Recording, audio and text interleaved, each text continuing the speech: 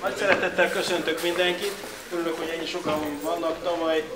Tehát nagyon fontos az, hogy ennek a programnak, amit most közösen csinálunk, ennek a híre mindenhova eljusson, és senki ne maradjon ki belőle, csak azért, mert nem hallott róla, vagy nem, nem volt tisztában a részletekkel. Ugye miről van szó?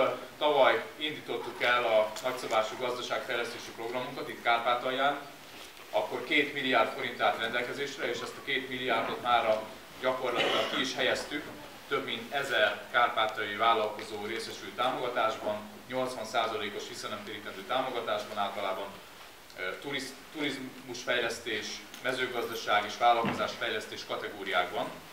Hidegen. Nem, nincs pénz. Eddig most.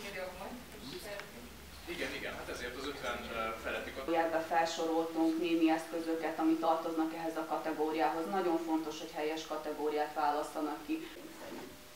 Igyekszünk legalábbis, mert azért vannak csavaros kérdések néha, amiket fel kell